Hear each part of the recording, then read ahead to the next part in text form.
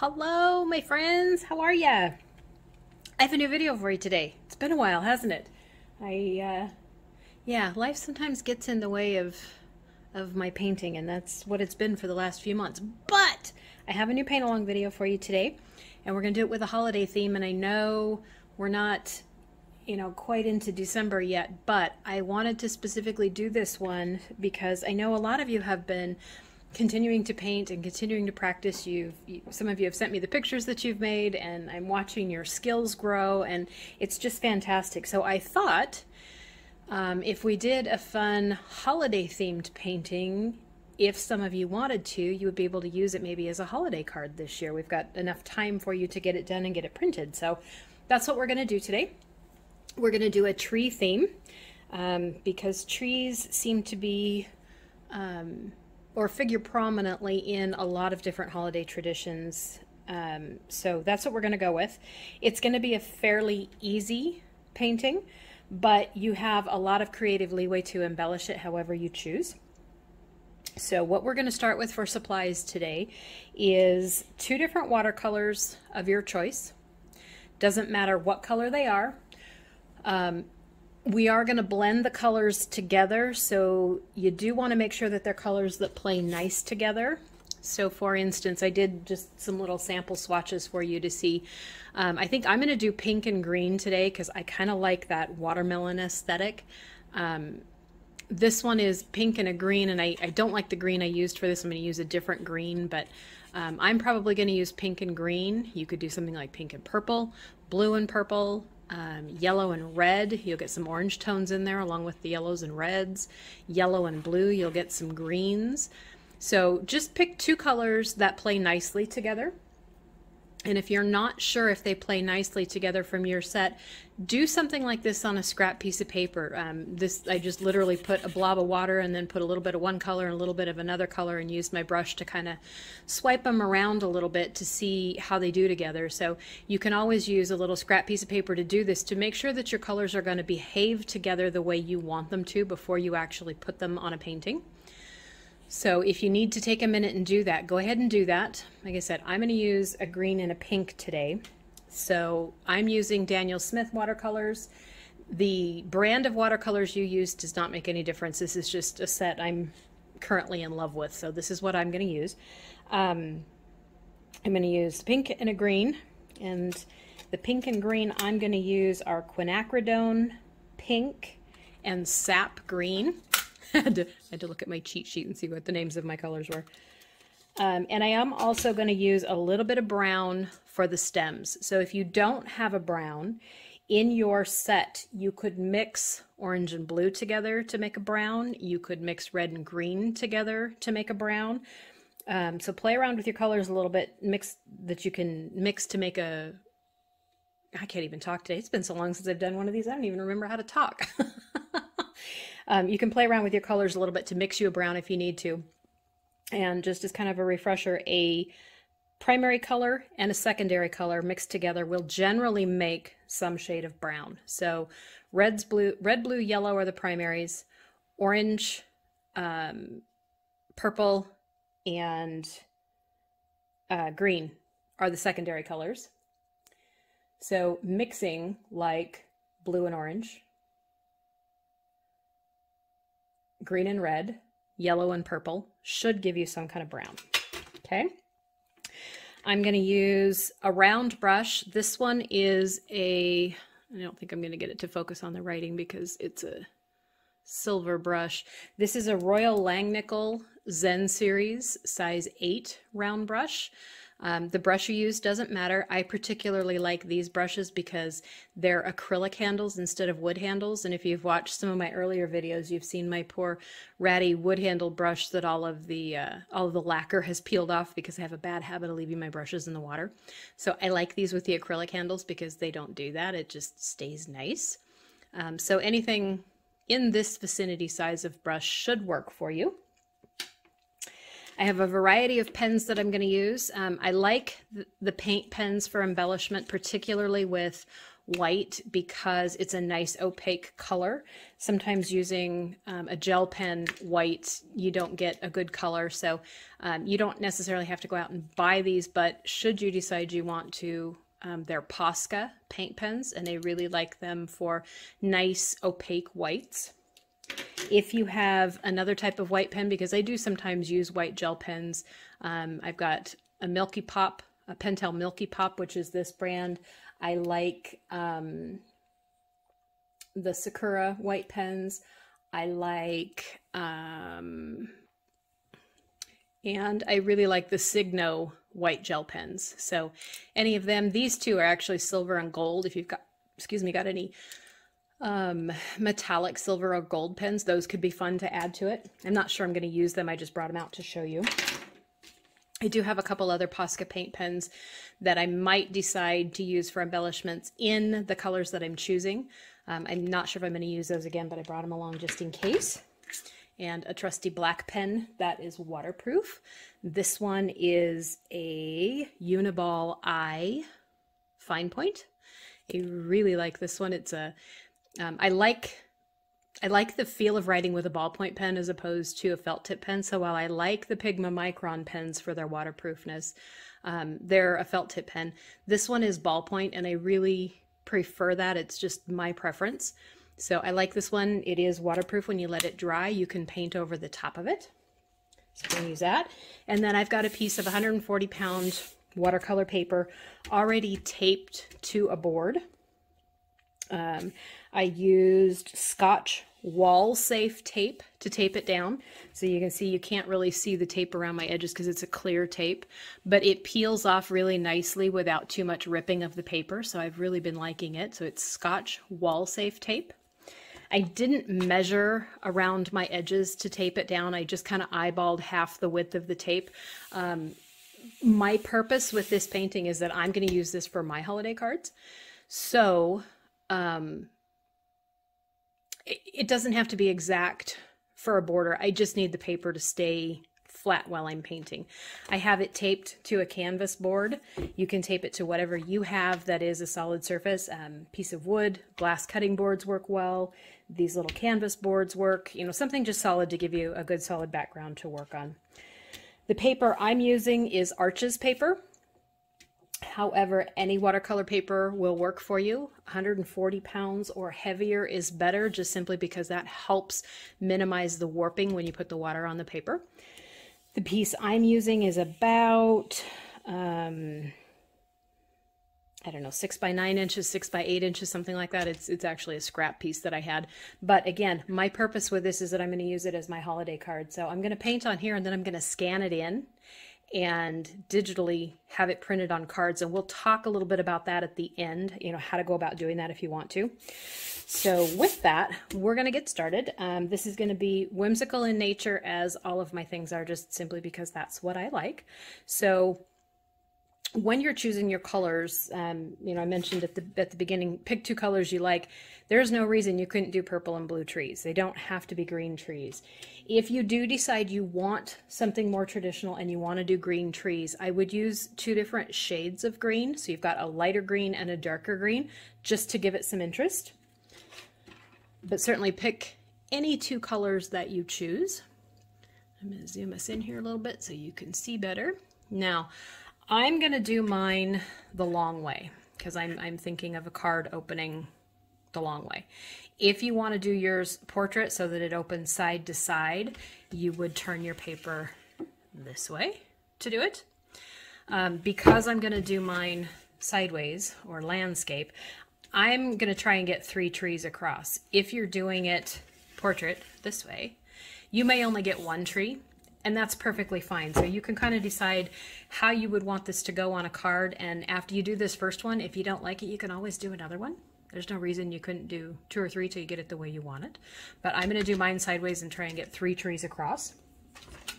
So I'm going to pull my paints over here. Um, I am not going to dilute these on a mixing plate before I use them today. I'm going to use them straight out of the pan. So they're going to kind of be sitting off to the side, but essentially when I'm ready to use them, I'm just going to swirl my wet brush in there and pick up some paint as well. So it's nothing terribly complicated or scientific as far as diluting things like that. I am starting with a couple of different jars of clear water because I do want to have one stay clean so that I can use it as my background water. And because these are going to be whimsical and kind of on the fly, I'm not drawing this on first. So we're going to we're going to live a little bit on the wild side today and just start painting. Okay? So hopefully we can see this okay. So what I'm going to do is just dip my brush in some clean water, dab it off on the side a little bit so I have a wet brush. It's not dripping. Nothing's going to fall on my paper. And here in about the middle, I'm going to draw a triangle in water with my brush. And give me just a second to get this wet and I will show you what it looks like. I'm not going for sopping, sopping, sopping wet because I don't want it to drip if I lift it up. But I do want it to have a little bit of a shiny sheen on the paper so that when I put the paint on here, they can kind of mix and mingle together and do what watercolors do. They can move around. Okay, so I just painted a triangle on there. I did not go Hopefully you can see that shiny on there. I did not go all the way to the tape at the top because I want a little bit of room up here to draw some kind of little embellishment at the top. And I did not go all the way to the tape at the bottom because I need a little bit of room for a stem. So I just kind of eyeballed a triangle in the middle there. Okay. So now I'm going to come over and I am literally just swirling a wet brush and a little bit of my pink. This pink I know is pretty vibrant, so I don't want too, too much of it. And I'm going to come and just kind of start dabbing it in here and there where the wet is on my tree. And if your paper starts to look and feel like it's drying out and your paint's not spreading around, let's do this. Um, you can always just dip your brush back in the water and get a little more water and come back with just a little bit more water. And you're just kind of tapping it in and using that brush to spread it around a little bit. Now, I'm not going to cover the entire triangle because I need some space for my second color. So I'm going to rinse my brush off and I'm going to do the exact same thing in my sap green. I'm just going to go swirl my wet brush around in the paint. And in the spots where there aren't already paint, I'm just going to kind of start tapping in some of that green and use my brush to just kind of tap, tap, tap.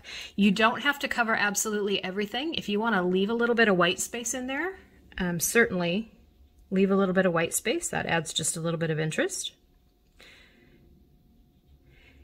Keep in mind that watercolors are going to dry a little bit lighter than they go on. So you're going to kind of have to make a little bit of a judgment call when you put these on how dark you want the paint if um, when you get looking at it like this, see if I can move that a little bit so we don't get the glare off the wet paint. If um, you think you want it a little bit darker, just dip into the paint again and come back and dab a little bit more paint on top.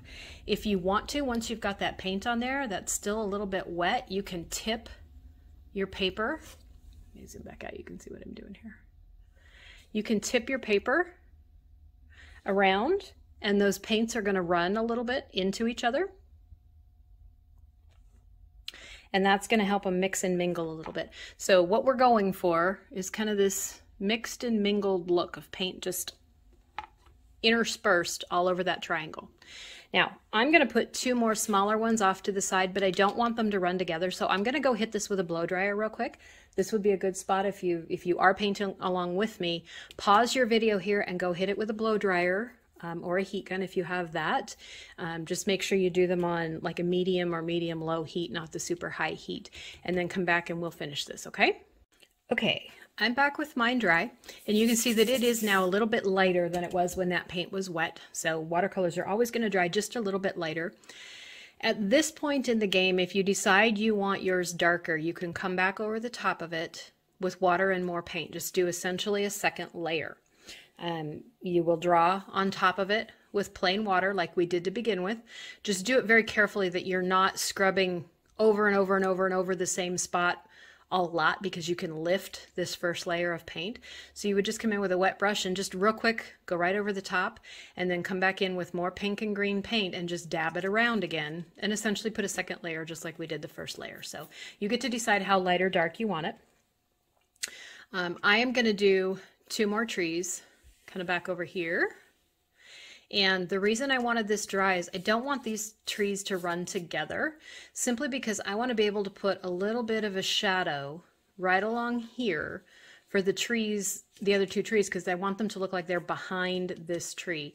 And if I put them on wet while this is wet and I run that darker green down here, that darker green is going to run into this tree. And I want a definite line of separation between them. So that's why I wanted this dry. So I'm going to zoom you in again and we'll do this side first.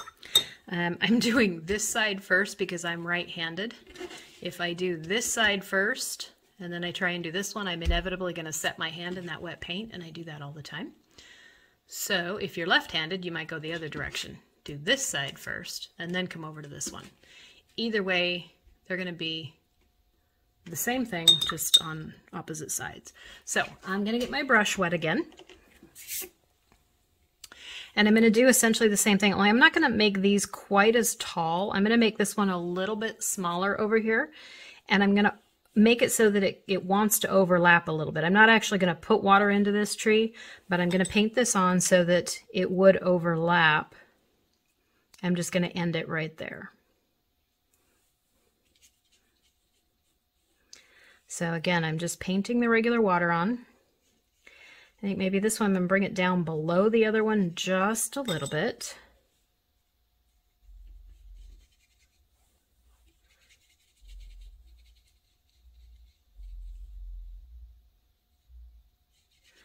But same basic concept as the first one.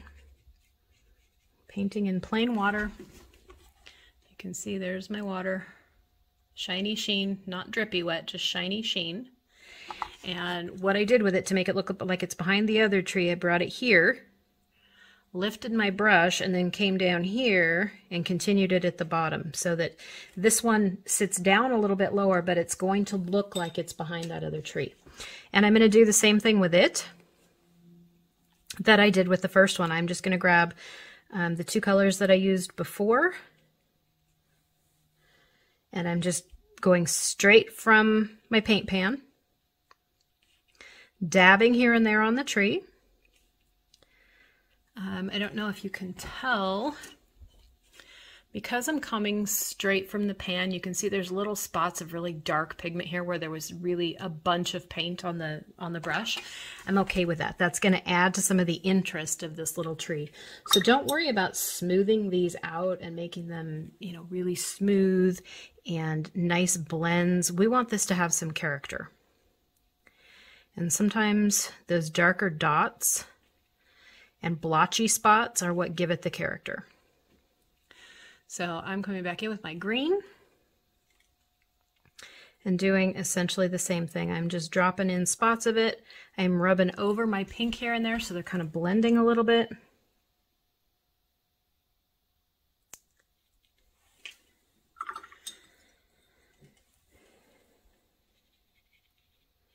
If, it's, if it feels like it's getting muddy and your colors are not you're not able to tell the difference between the two colors in parts of it, rinse your brush off before you do anything else. And then if you need to move it around a little bit, do it with a clean brush. Okay. Now I'm going to go grab a little bit more of that green and I'm just going to dab it kind of right here at the edge. Because it's wet, it's going to do kind of that watercolor fan out. Light is bad today, isn't it?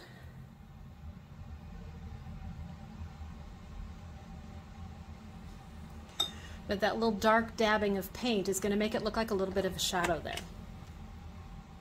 And I want it to kind of spread out and fan out a little bit, so I'm just going to tip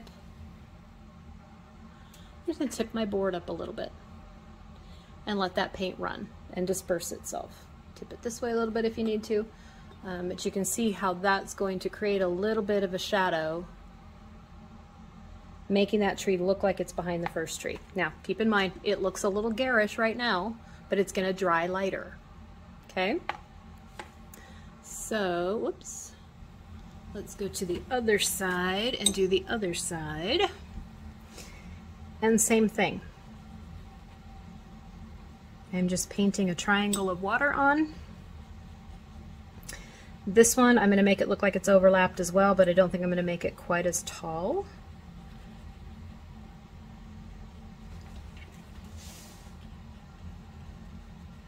So it will be a little shorter than the one next to it. They don't all have to be the same height. They don't all have to be the same width.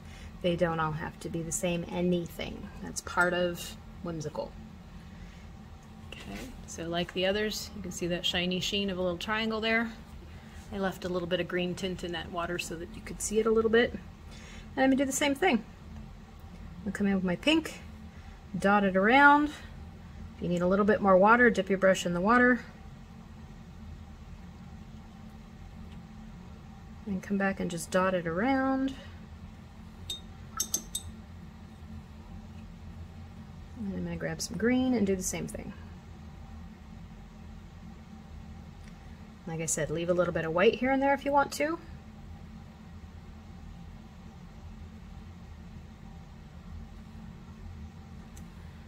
there we go. Now I'm going to do essentially the same thing with this one. I want there to be a little bit of a shadow right here, so I'm going to grab just a little bit more green and just kind of dab it right there on the edge. And this green can be really intense. So I realized when I put it on there I got a little bit too much, so I just rinsed my brush off. And I'm just going to come back with a wet brush, clean wet brush, and just kind of dab it around a little bit. So again, you get that idea of a shadow. Okay? Now, I need to put some stems on these trees, so I'm going to take just a little bit of my brown paint and I'm going to use just the very tip of my brush and I'm just going to run a little stem down from each one. Nothing fancy, just a little bit of a brown stem. You can make them as thick or as thin as you would like. Okay, so there is the basis for what we're going to do. So at this point, I'm going to go blow dry mine again, so this would be a good spot for you to pause and do the same thing, and I'll be right back with dry trees. Okay, I'm back with dry trees. Um, I mentioned they're going to dry lighter a couple of times, and you can see, particularly on this one, where that green looked so harsh to begin with, it's not quite as harsh now and it's going to tone down even more when we start putting doodles on top of this. And same thing over here, that green dried a little bit lighter. So even just sitting like they are, it looks like there's a little bit of a shadow where this tree sits in front of these two trees, okay? And I was thinking about something while I was drying this. So I'm gonna set this aside for just a second and show you something. Um, there were a couple spots where I picked up that board and tilted it to get the colors to run. And it occurred to me while I was drawing that, that that might have been kind of subtle and kind of hard to see. So I want to show you something you can play with, and you can use this in all different kinds of applications with watercolor.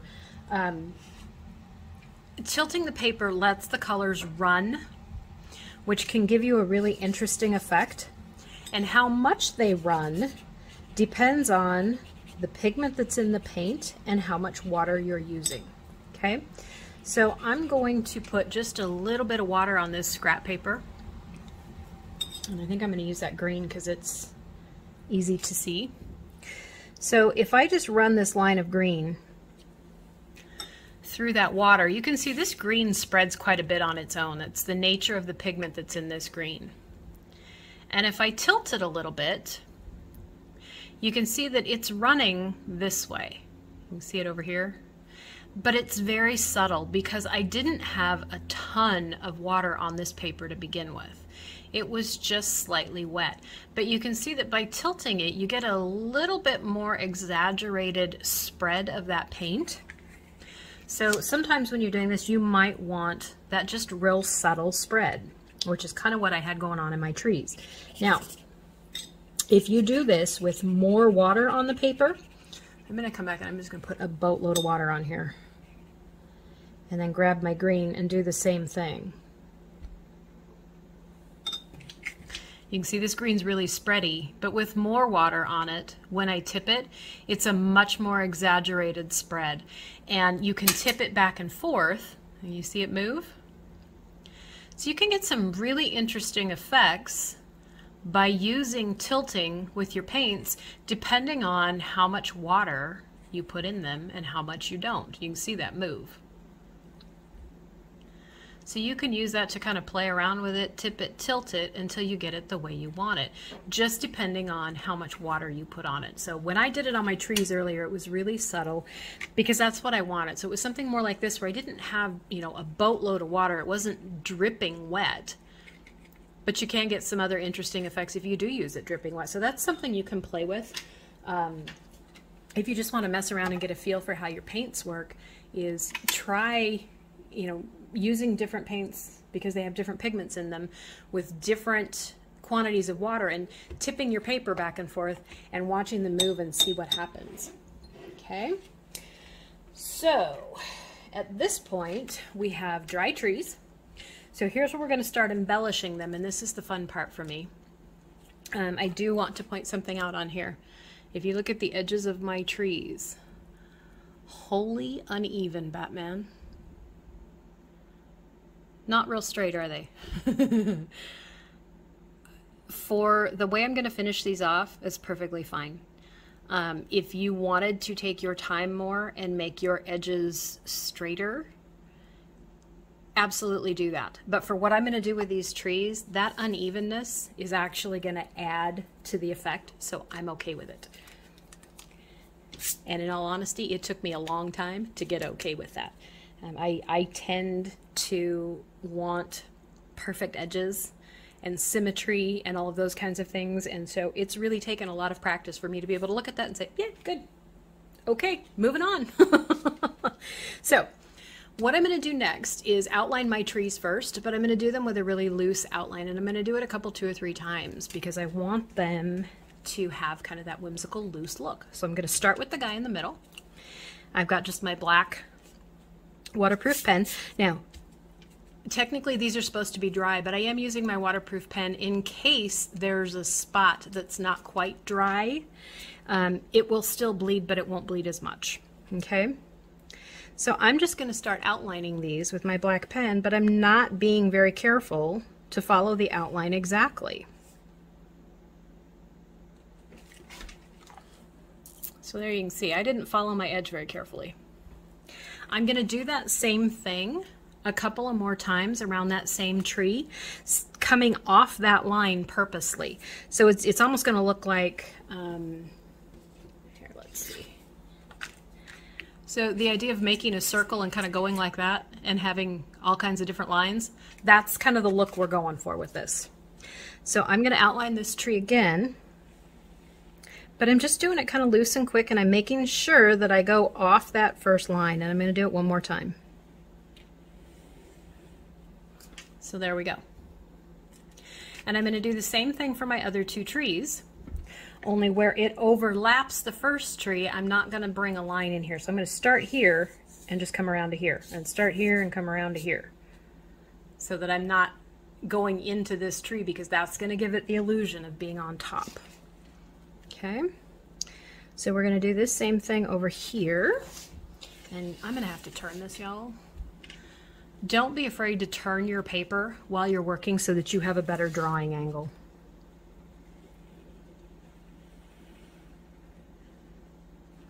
So there's my first line. And I'm going to do the same thing two more times, making sure I purposely come off that line somewhere, just so that it gives it a little bit of interest. Okay. Now, I'm going to turn me the other way and do the same thing on this one.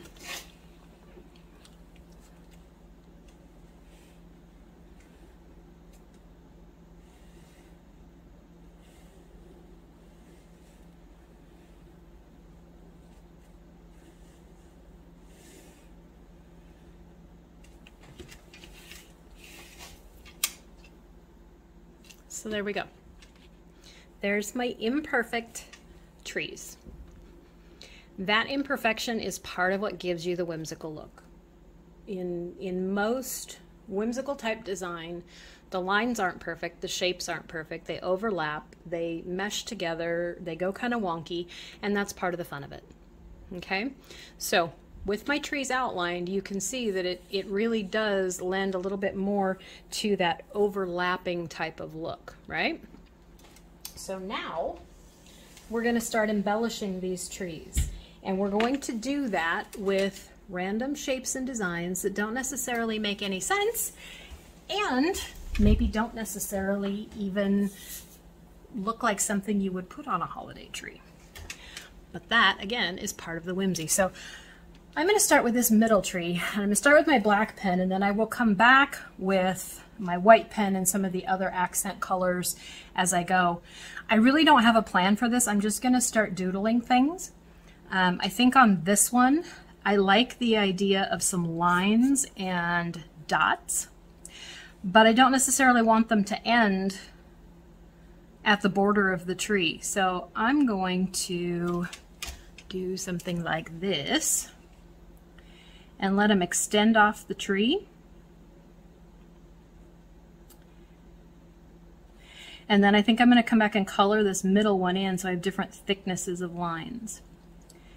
Um, part of the idea of putting doodles on to help get that whimsical look is that things don't necessarily match. We're not going for symmetrical, we're not going for matchy-matchy, all kinds of different things, okay? Um, I think I'm gonna do the same thing over here of a sort. Only this time I'm only gonna do three lines. I am making them extend past the tree. And I'm gonna color this one in. Again, to give me different line thickness just because that adds interest.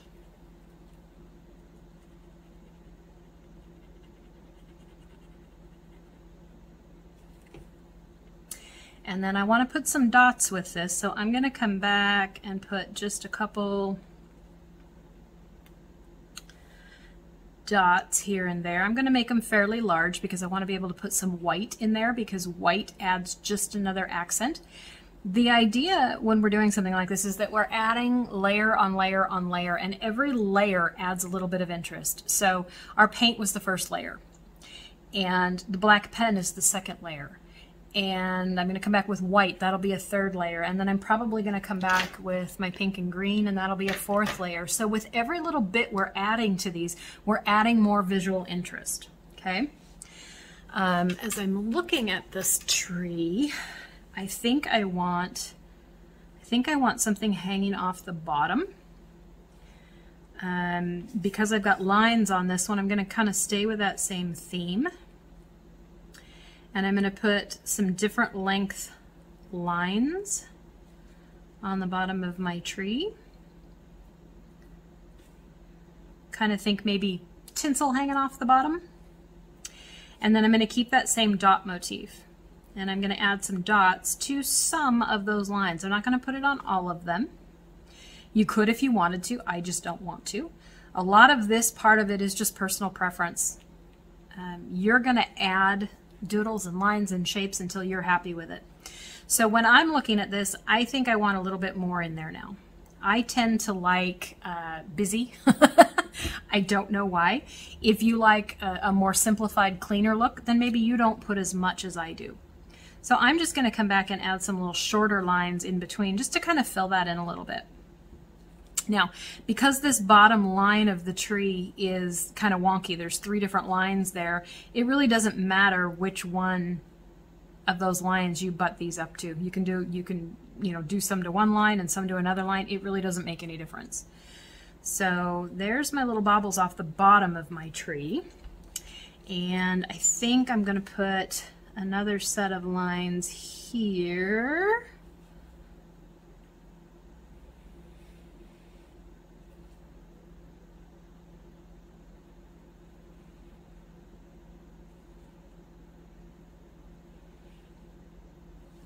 And color the middle one in again.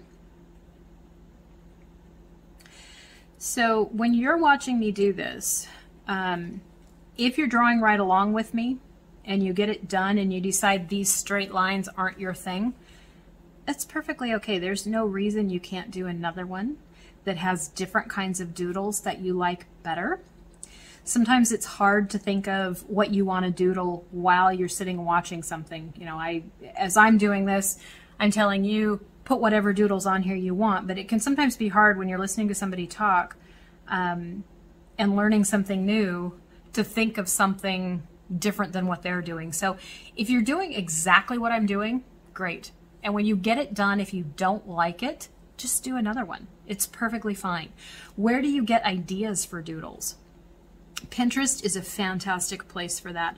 If you go on Pinterest and search for doodle art, you could even Google doodle art, you'll get lots and lots and lots of things and you can you know, find some of those that just grab you. If there's a, a, doodle image that just for some reason your eye keeps going back to it, pull that image up and zoom into it and look at the different pieces of it. And, you know, that can help you decide what what on there is visually pleasing to you. And then you can use those doodles on your drawing. We all do that. Everybody borrows from everybody else.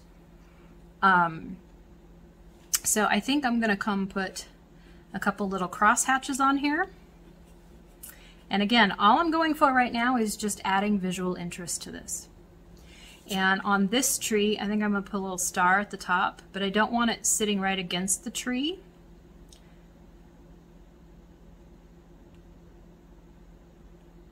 So I'm going to draw my little star there, and then I'm going to put a little curly line down to it. And because looking at this now, my stem, the trunk of the tree looks a little bit out of place, I'm just going to run a black line down one side to kind of match the wonkiness of the other lines. I don't care if I've followed the contour of the paint exactly. And I might come put another couple little straight lines in it just to give it a little character. So my first tree, I, I think is done for now. I'm gonna move on and do some black on the other two, and then I'm gonna come back with um, whites and some other colors and things like that. So I'm gonna scoot this over.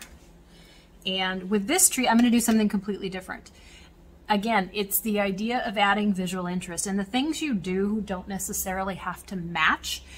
Um, it's really interesting how doodle art works in that you can you can doodle a whole bunch of unrelated things and by the time you're done it comes together as this cohesive thing and, and that's just what makes it interesting so I think on this one um, I'm gonna put some spirals So I'm just going to do like this. Yeah, I think that's what I like. And I'm going to do them randomly over the whole tree.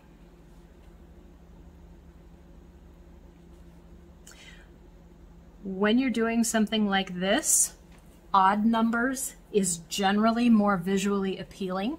So you'll notice on this tree I did three line sets.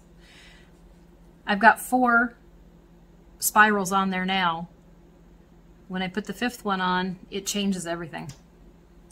If you want more, you could put some smaller ones in. There's going to come a point when you've got so many on there that odd or even maybe doesn't matter as much, but when you're down in the low numbers, like one, three, five, odd numbers are generally more visually appealing. But when you start getting a lot, you know, you don't have to count and make sure that you've got 17. You get the idea. Okay. And then I think I'm going to put one right here so it looks like it's running off because it right now when I'm looking at this from my perspective it looks like this is kind of an open hole here.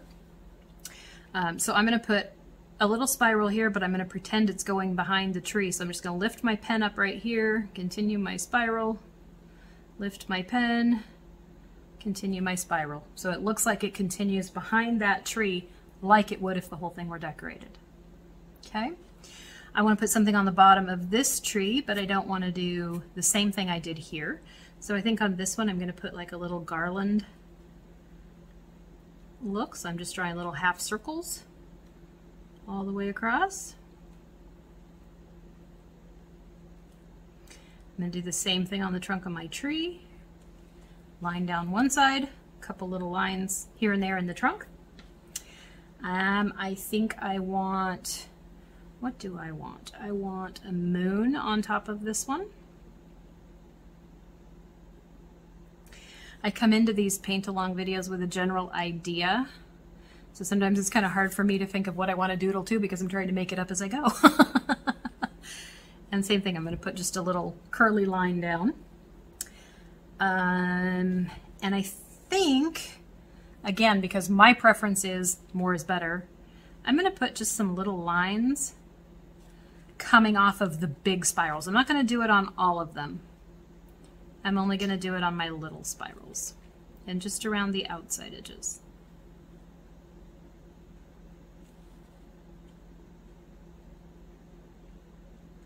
Not great huge lines, just little lines. Kind of think of like maybe suns, that type of idea. Oops. There we go. So tree number two, the black layer is done. I'm to move us over here to tree number three. and I have no idea what I'm to do on this tree. Maybe on this one we're going to make it more like um, a tree with traditional-ish garland on it. So I'm going to start just slightly off my tree and I'm going to end just slightly off my tree and I'll show you why here in just a minute. And I'm going to do kind of this um, U-shaped thing, only I'm going to exaggerate it a bit. I'm going to make a really deep U's. And then I'm going to do another one here, but I'm not going to put it on exactly the same angle.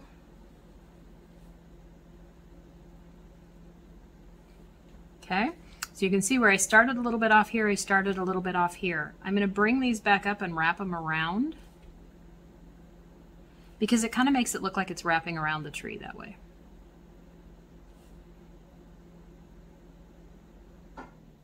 Kind of gives you that little bit of a, a three-dimensional feeling to it.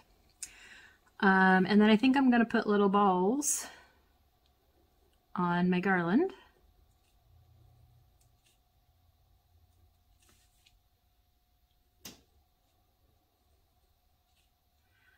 I'm a fan of circles and dots, so those show up in my doodles a lot. There we go. I think I want something on the bottom of this tree too, but I want it a little bit different yet. So I'm to do like maybe little, think like pennants. We'll do a little zigzag garland on the bottom of that one, and I'm to put little dots on the tip of my garland there. Same thing on the trunk of my tree, line down the side, just a couple little black lines in the trunk itself. I think on this one, I really like these little curly cues over here, so I'm going to bring those over to this side of the drawing. And I'm going to put one of those on the top of that tree. Okay. So there is our second layer with black pen. And you can see how just adding a little bit of black pen really changes the whole look and feel of it. You know, we started with just paint and it looked kind of, yeah, okay, whatever. But as soon as you start adding those black pen accents, it, it completely changes the character of what you're doing. Okay, so we're going to add another layer of white. So I'm to zoom us back in a little bit. So I'm going to come in with my white paint pen. Again, this is a Posca paint pen. these are my favorites. I love them. Um, because they're paint pens, you do have to shake them up a little bit. And the tips, um, when you press down really hard, that's how you re-ink the tip. Um, you can't see it. There we go. So for instance, if this feels like it's running out, I'm going to put it on my paper and press it down, and it's going to press that tip in.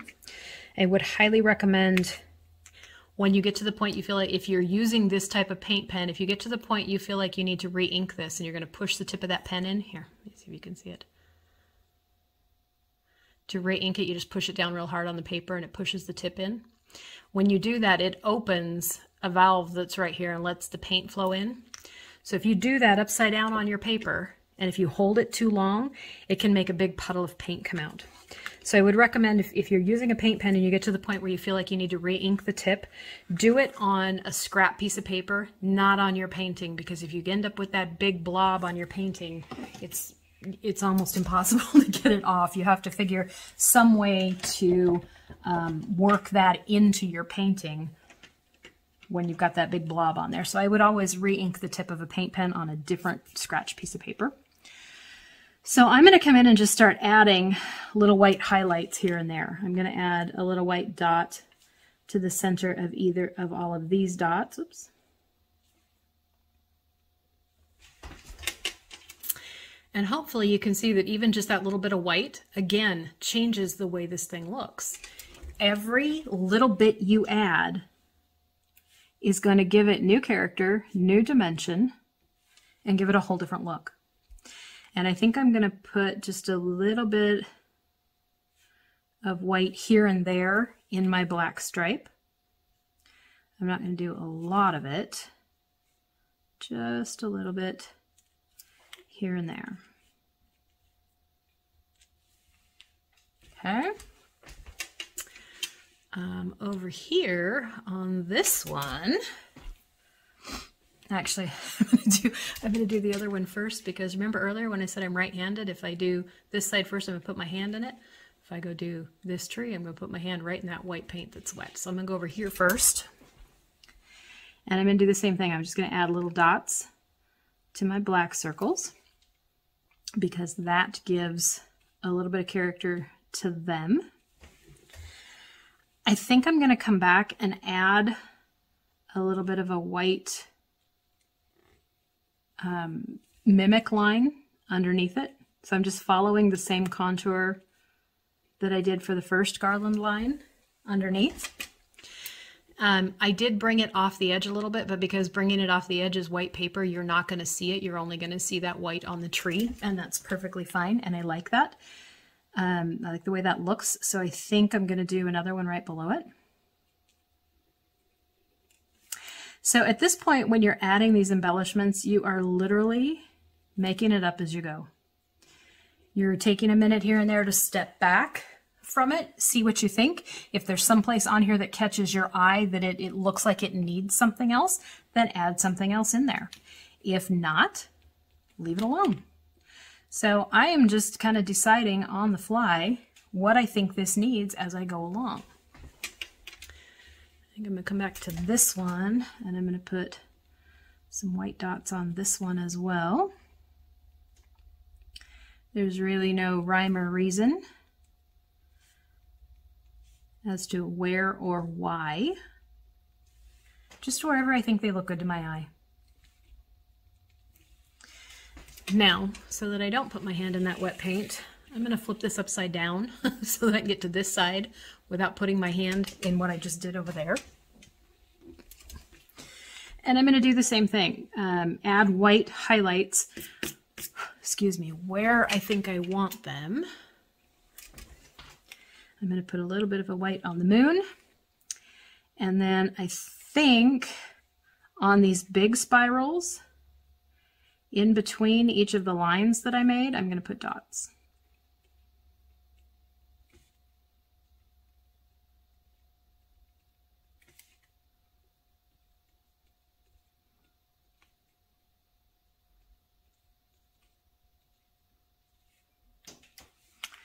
and then maybe just a few more here and there.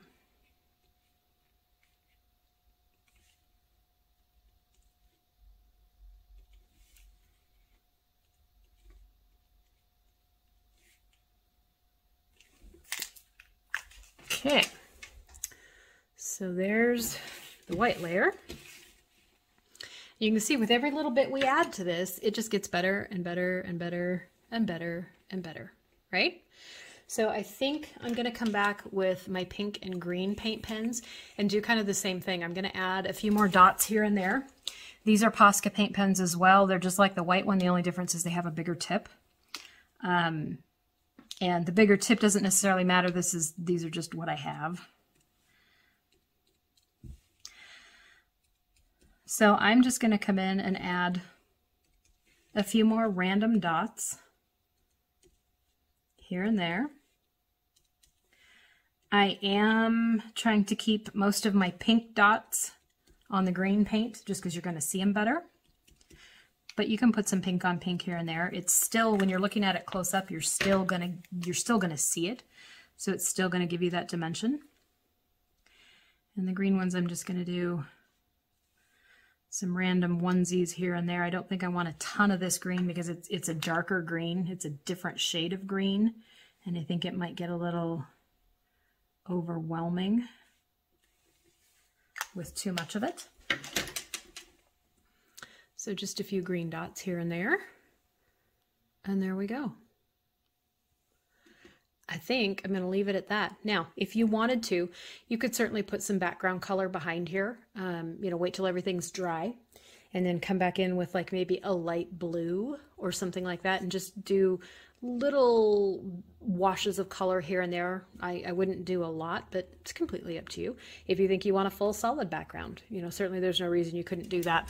I like the look. I, for some reason, I've, I've really been stuck on this look of the pink, the green, and white lately, and I'm, I'm not sure why exactly. Um, so at this point, I'm going to peel my tape off. On other paintings that we've done, the tape makes a noticeable border, but because I've not put any background color on, you know, it doesn't really make any noticeable border. It just keeps it white. I mainly put the tape on this one simply to keep the paper held down flat when I put the water on it. Um, the purpose of the tape on this one was not to create a background. Um, but I did want you to see that that tape pulls off nice and easy with minimal ripping of the paper. Now the one thing it did do was make nice even tree trunks down there at the bottom. So this is the image I'm going to use. There's fuzz on there. This is the image I'm going to use, I think, for my holiday card. So how exactly am I going to do that? If this is something you want to do after you get this painting done, or maybe you've done another painting that you particularly like and you want to use as, as a holiday card, or a card at any point throughout the year, um, you could, if you're only going to do a couple of them, you can actually buy blank watercolor cards. They're, they're cards that are already folded, envelopes, the whole deal, um, but they're made out of watercolor paper so that you can paint on directly onto the card, ones and twos at a time. That's kind of fun to do if, you know, if you're not having to do a ton of them, um, because each of them comes out unique and individual that way. If you're wanting to have them commercially printed because you need to send out a bunch of them, you can either scan this in if you have a scanner at home. If you don't have a scanner, you can take a good picture of it with your, your phone. Um, most cell phones, when you've got good light, um, will take a perfectly acceptable picture of something like this. Um, the idea is that we need to get it into a JPEG format, and you can do that either by scanning or taking a picture on your phone. Most phones save pictures as JPEGs. If you don't have either of those options, but you have a local print shop in your town, you can often take this down to the print shop and they will scan it for you. They might charge you 10 bucks, but if you don't have any other way to get it um, converted into a digital format, um, most print shops can do that for you. Once you've got it in a digital format, then you need to get it onto a card. So again, local print shops can do that for you in most cases. If you take, you know, you just take the hard copy down and say, I want to make holiday cards. Can you help me with that? I need it scanned in and then I need it printed on the cards and they can walk you through that whole process, give you the pricing, you know, help you get it formatted correctly, everything. Um, if you don't have a local print shop or don't want to use a local print shop, something like Shutterfly you can do that. There's a bunch of online places you can get cards printed. I don't have a lot of experience um, with a ton of different places, but I do use Shutterfly quite a bit and they do a really good job. So once you've scanned it in or you've taken the picture on your phone, you can go to shutterfly.com and from their list choose greeting cards and you can choose the blank greeting card and as you're it'll walk you through step by step creating that card and at some point it's going to ask you to upload the image. So you will upload this digital image that you have either from scanning or taking a picture and it will place it on that card and it'll show you a sample of what it looks like. And then they have some basic editing tools so that you can you know move it around make it a little bigger make it a little smaller however you want it you know whatever needs to happen to it and then you can have them print them. And it generally takes about seven to 10 days to get your cards, which is part of why I wanted to do this now, so that you have enough time to do that and still get them in time to send them out. Um, I don't know if they have a little bit of a delay right now where we are running into holiday time and, and more people are doing something like this. So um, it's not something I would wait a long time for if you wanted to do this. um, right now. Um, we're, we're, what are we, the Sunday before Thanksgiving right now. Um, but if you wanted to do, you know, Mother's Day cards or, you know, something like that at a different time of year, you do it the exact same way. Paint the image that you want, either scan it or take a picture.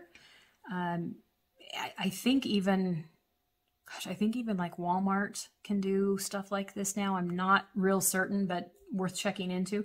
But there's lots of online places that you can get them printed, or you can go, like I said, to a local print shop and they can do these for you too. So with that, I think we're done. I think I'm pretty pleased with my pink and green trees. Hopefully you are as well. Um, as with all the videos, if you have any questions when you get doing it, put the questions in the comments. I answer, I, I look at, read, and answer all the comments, so I'm happy to answer questions there. Um, I will put all the supplies I used in the description of the video, so if you want reference for the exact pens and paints and things like that, that will all be in the description of the video with links. Um, they are not affiliate links, they're just products I like. So um, I will have that for you. And um, as always, if you want to follow along with my art journey, I am at Painted Willow Art on Instagram. I do have a Pinterest page as well where I post lots of things for inspiration. So if you're looking for um, doodle inspiration in particular, I do have a whole board on my Pinterest called Zen Doodles or Zentangle and Doodles. There are literally hundreds of things pinned there to give you ideas. So you can follow me there as well. Um, I, I have had several people ask about um, contributing to supporting these videos. So I did put a donation link in the description as well. If you feel called to throw a couple bucks my way to help support the production of these videos, absolutely feel free to. Um, I, I don't charge for these intentionally because my whole goal is to show you tips and tricks and things to get you creating. I think there is immense benefit in creating art. And I don't think that that um, is something that should be just for um, you know, maybe people who have been told they have innate artistic ability. I think we all do. And I think a lot of these techniques we can learn and you can develop skill, whether you consider yourself an artist or not, you can create things like this and make them beautiful and have fun doing it. So that's the whole point of these videos. But if you do feel called that you want to contribute a little bit, absolutely, there's a donation link um, in the description. And with that, I'm going to let y'all go. I'm going to go get this scanned so that I can get my cards made and get them coming. And hopefully I will have another video for you um, not too long, not as long as between the last one and this one, hopefully. So with that, have a good day and I will talk to you